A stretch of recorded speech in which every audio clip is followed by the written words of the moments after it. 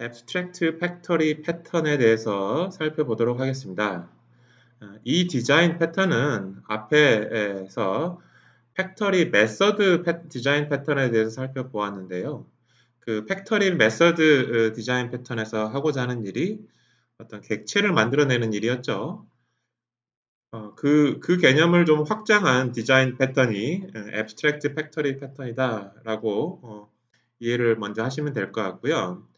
어떻게 확장을 했느냐라고 하면 어, 여기서는 어, 어, 논리적으로 어떤 연관 관계, 연, 논리적으로 관계가 있는 객체를 하나만 만들고 싶은 게 아니라 여러 개를 만들고 싶은 거예요. 그래서 여러 개의 객체들을 한꺼번에 만들어내고 싶은 겁니다. 그래서 그 여러 개의 각각의 객체들을 만들어내는 일종의 factory들을 어, 그룹으로 그룹화해서 어, 클래스를 설계하는 방법이 abstract factory 패턴이다 라고 할 수 있고요. 이거 역시 객체를 만들어내는 거죠. 어, 그러니까 creational한 어떤 디자인 패턴 유형에 예, 속한다, 속한다라고 어, 어, 분류할 수가 아, 있습니다. 그래서 예를 들어 보면 여기 지금 보면 어, 어, create product A, create product B 뭐 이렇게 돼 있죠. 여기서 이제 만들고 싶은 거는 A라고 하는 어, product A에 해당하는 어떤 객체도 만들고 싶고 그 다음에 product B니까 product B에 해당하는 어떤 객체도 만들고 싶은 거예요. 객체를 그러니까 두 개 만들고 싶은 거예요. 적어도 여기서는 어, 그돼 있고요. 그런데 그런데 product A에는 또 종류가 뭐 A1도 있고 A2도 있고 뭐 여기는 안 나와 있지만 미래 A3도 있을 수 있겠죠. 마찬가지로 product B도 어, 그냥 하나만 있는 게 아니라 product B1도 있고 B2도 있고 B3도 있는 뭐 그런 케이스예요. 그래서 이제 이게 어떤 경우에 그런 케이스가 되느냐라고 하는 건 또 뒤에 슬라이드에 조금 더 구체적인 어, 예를 가지고도 설명을 하도록 하겠습니다. 어쨌든 product A라고 하는 카테고리에 또 A1, A2, A3가 있고 product B라고 하는 카테고리에 B1, B2, B3가 있는데 나는 어, 어, concrete factory 1에서는 어, A1하고 B1의 객체를 두 개를 조합을 해가지고 하나 만들어내고 싶은 거예요. 또 concrete factory 2에서는 A2하고 B2하고 조합을 해가지고 어, 어, 또 만들고 싶은 거예요. 물론 뭐 A3, B3 있으면 또 A3하고 B3를 같이 조합을 해서 만들고 싶고 어떤 상황인지 아시겠죠? 그래서 이렇게 product A와 product B가 서로 뭔가 공통적인 어떤 갖고 있는 그 클래스들이 또 따로 있는 것도 사실이에요. 어, product A라고 하는 그런 또 카테고리, product B라고 하는 카테고리가 또 따로 분리되어 있기도 하지만 어, A1과 B1이 뭔가 이렇게 영, 이렇게 그룹이 지어져 있고 그룹을 짓고 싶고 A2와 B2하고도 그룹을 짓고 싶고 자, 어떤 상황인지 예, 예, 이제 조금 충분히 이해가 됐으리라고 어, 생각을 합니다. 아, 그랬을 때 예, 여기서도 마찬가지로 어, 어, abstract factory라고 하는 거 만들어서 create product A, create product B라고만 어, 이야기를 하고 싶고 클라이언트 입장에서는 어, 어, 특정 어, product의 조합에 너무 의존성이 있지 않고 어, 어, product A다, product B다라고 하는 그런 그 레벨에서만 어, 어, 객체를 만들어내고 어, 싶은 그런 상황이 되겠어요. 그래서 클라이언트라고 하는 어, 어, 어, 클래스는 오로지 abstract product A하고 abstract product B라고 하는 클래스만 알고 있는 거예요. 지금 이렇게 association 관계가 있죠? 연관 관계가 있죠. 그 다음에 이 두 개를 조합해서 만들어내는 abstract factory만 지금 알고 있, 알고만 싶은 거예요. 이 클라이언트는 product A1, A2, B1, B2 또는 concrete factory들의 전혀 어떤 의존 관계가 있지 않다라고 하는 것을 이 클래스 다이어그램에서 보여주고 있습니다. 일단은요. 그렇고요. 그 다음에 이 abstract 그 다음에 이제 abstract product A에 상속을 받아가지고 product A1, product A2, product A 카테고리에 속한 또 다른 어떤 세부 클래스를 만들고 싶고요. 또 product abstract product B라는 어, 클래스 아래 상속 관계를 둬서 product B1, B2를 만들고 싶습니다. 그리고요, 이 두 개를 조합하는 abstract factory의 상속 클래스인 concrete factory 1은 product A1과 product B1에만을 사용하는 거예요. 따라서 여기 지금 의존 관계가 좀 들어가 있죠?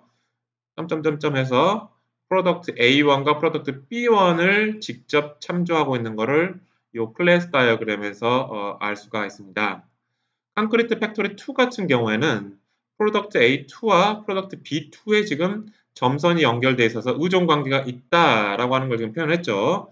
어, 여기서 이제 의존 관계일 때 이렇게 까맣게 칠한 것보다는 우리가 에, 아마 안에가 칠하지 않는 화살표 유형으로 저희는 이제 배웠는데요. 같은 어, notation으로 어, 생각을 해주시기 바랍니다. 그래서 어, 전체적으로 이렇게 구성이 된 클래스를 만드는 만들면 그게 바로 이제 abstract factory 패턴이다라고 오프 디자인 패턴 책에 이제 설명이 나와 있고요. 이게 이제 가장 제너럴하게 abstract factory 패턴을 설명하는 것이고요. 요 설명으로 충분히 이해가 될 경우도 있겠고 어느 정도 여러분들이 객체 지향 설계에 대해서 경험이 충분하다면 이 설명만으로도 충분합니다. 만약에 여러분들이 아직은 어, 좀 경험이 조금 많지 않아서 요 어, 클래스 다이어그램으로 이해가 되지 않으면 그것의 이제 구체적인 사례를 보고도 어, 이해를 한번 시도를 해볼 수 있을 것 같습니다. 여기서 이제 셀프 애플리케이션이라고 하는 게 앞에서 클라이언트에 해당이 되겠습니다. 클라이언트. 그 다음에 여기서 house factory가 바로 abstract factory에 해당이 되겠고요. 그래서 abstract factory에서 어, A라는 프로덕트, B라는 프로덕트를 만드는 거잖아요. 여기서는 bulb와 블라인드를 만드는 뭐 전등과 무슨 뭐 차양막 같은 게 블라인드, 블라인드를 있죠? 그 햇빛 가리기 같은 거. 그래서 그 어, 어, bulb와 블라인드를 만들어내는 게 house factory예요. 어, 떤 상황인지 아시겠죠? 그리고 어, EIB라고 하는 뭐, 뭐 회사 이름일까? EIB 팩토리가에서 크레이트 벌 자기 나름대로의 bulb와 블라인드를 create 할 것이고 거기에서는 뭘 이용하자면 light bulb와 뭐 EIB bulb를 지금 이용한다라고 지금 이렇게 의존 관계가 돼 있죠. 또 house factory를 상속받은 또 다른 자식 클래스는 뭐 Luxmate factory라는 이름의 factory가 있는데 거기서도 마찬가지로 bulb와 블라인드를 만들어냅니다. 근데 여기서는 어, 라이트 벌브와 EIB 벌브를 사용하는 게 아니라 어, 아, 자기 회사에서 만든 bulb와 어, 블라인드와 bulb가 되겠네요. 그래서 Luxmate bulb와 아, 여기 좀 오타가 있죠? bulb가 아니라 이게 블라인드가 돼야 되겠죠? 여기 오타가 있습니다. 그래서 Luxmate bulb와 또 이쪽으로 살펴가면 Luxmate 블라인드를 조합을 해가지고 house를 만들어내는 거예요. 여기 지금 오타가 있습니다. 그래서 그 이런 식으로 어, 구성을 하겠다라고 하는 거죠. 그러면 이제 비교를 해봅시다. 이 두 개의 factory 있죠. EIB 팩토리와 어, Luxmate factory는 바로 요거에 해당이 되겠죠. concrete factory 1, 2. 그 다음에 light bulb와 블라인드가 바로 abstract product A와 abstract product B에 해당이 될 것이고 그거에 상속받은 요 product A1, A2, 뭐 product B1, B2가 바로 요 아래에 있는 네 개의 클래스에 상응이 될 것입니다. 자, 이렇게 조금 더 구체적인 예를 들으니까 앞에 abstract factory 패턴에 대한 어, 아이디어가 조금 더 선명해지죠. 어, 그래서 어, 벌브와 블라인드를 두 개를 한꺼번에 내가 만들고 싶은 게 일단은 하우스라고 하는 거를 만들어내는 것에서의 에, 아이디어인 거죠. 하우스를 만들어낸 하우스를 만들어낸다라고 하는 이야기는 어, 벌브와 블라인드를 같이 만들 같이 그룹 지어서 만들어, 만들어내는 거예요. 그러면 그걸 그룹 지어서 만들 때 어떻게 만드느냐? 벌브는 뭐 여러 가지 두 가지, 두 가지 종류가 있고 또 블라인드도 두 가지 종류가 있는데 어, EIB 팩터리에서 만들어내는 거는 라이트 벌브와 EIB 벌브를 조합을 해서 만들어내는 만들어서 house factory 만들어내는 거고 또 Luxmate는 또 Luxmate bulb와 Luxmate 블라인드를 조합을 해서 만들어내는 게 만들어서 house를 만들어내는 게 Luxmate factory다 라고 하는 아이디어 어떻게 그룹 지어지는지 아시겠죠? 어, 그렇게 해서 abstract factory 패턴을 만들어낼 수가 어, 있겠습니다. 자, 요게 이제 한 가지 예, 를 든, abstract factory 예를 든 설명이라고 어, 할수 있을 것 같고요. 어, 여러분들 어, 비슷한 사실 뭐 같은 내용이에요. 어, 사실 어, 궁극적으로 뭐 틀리지는 똑같은 내용인데 여기에 에, 자바 소스 코드를 abstract factory 패턴을 사용한 자바 소스 코드를 제가 한번 올려놓아 봤습니다. 어, 넣어 봤는데요. 그 여러분들이 이 자바 소스 프로그램을 보시고 어, 당연히 abstract factory 패턴을 사용을 했습니다. 어, 그래서 이 abstract factory 패턴을 어떻게 사용했는지를 여러분들이 이 자바 프로그램의 클래스 다이어그램들을 어, 그려봄으로써 어, 그려, 그려서 그려보고 그 다음에 요 어, 고프 디자인 패턴에서의 abstract factory 패턴의 에, 음, 클래스 다이어그램을 통한 설명과 비교를 해봄으로써 아, 이 주어진 자바 프로그램이 어, 이렇게 이런 방식으로 abstract factory 패턴을 사용을 했구나. 어, 라고 하는 거를 여러분들이 한번 좀 어, 살펴보시기 일단 바랍니다. 그래서 요 어, 소스 코드는 요, 어, 요, 요 내용인데 여기 GitHub에 예, 올려놓은 내용인데요. 일단 어, 뭐 어, 좀 개요를 좀 먼저 좀 설명을 좀 할 필요가 좀 있는 것 같습니다. 그래서 여기 보면 어, 점 Java 파일들이 지금 알파벳 순서로 어, 어, 되어 어, 있는데요. 그 알파벳 순서로 되어 있는데 여러분들 눈에 띄는 게 elevator factory 앞에서 우리가 house factory 뭐 이런 거 만들었죠. 어, 뭐 abstract product factory 뭐 이렇게 만들었는데 그 elevator factory라고 하는 게 일단은 뭐 시작 뭐 시작하기에 좋은 어떤 어, 시작점이 되지 않을까 하는 생각이 듭니다. 한번 클릭을 해보겠습니다. 어, 클릭을 해보면 엘리베이터를 뭐 만들어내는 모양이죠. 어, 엘리베이터를 만들어내는데 엘리베이터는 뭘로 구성이 되어 있자면 모터하고 도어, 모터하고 도어로 어, 만들어 구성되어 있는 게 엘리베이터입니다. 어떤 상황인지 아시겠죠? 그래서 그, 에, 그 엘리베이터 factory를 어떤 회사에서 만들어내고 있자면 현대 엘리베이터 factory가 있네요. 여기 클릭해 보겠습니다.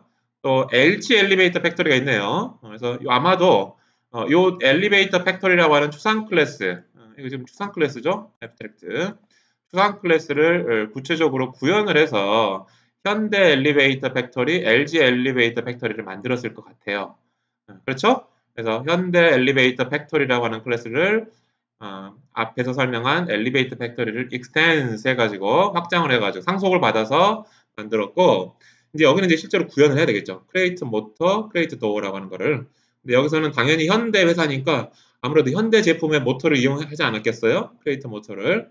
그 다음에 도어를 만들 때도 뭐 현대 도어, 자기, 자, 자기 자사 제품을 어, 이제 사용을 했을 것 같고, 그 다음에 LG 엘리베이터 factory를 가보겠습니다. LG 엘리베이터. 그러면은 LG 엘리베이터 factory도 기존의 엘리베이터 factory를 상속해서 어, 만들었고요.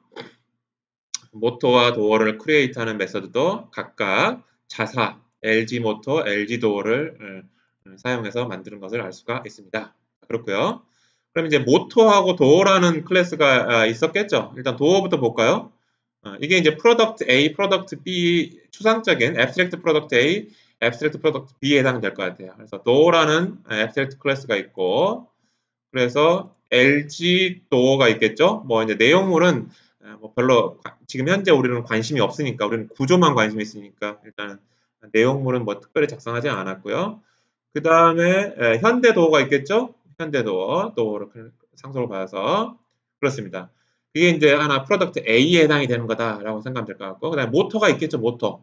어, 모터, 여기 Motor.java 그래서 모터라고 하는 어, 또 다른 추상적인 product 어, 클래스가 있고 그 모터를 LG 모터가 있겠죠? 음, LG 모터가 아, 있겠고 그 다음에 현대 모터가 어, 있을 것 같습니다. 현대 모터 이렇게 어, 이렇게 있을 것 같네요. 자 그렇게 해서 어, 어, 구성이 되는데요.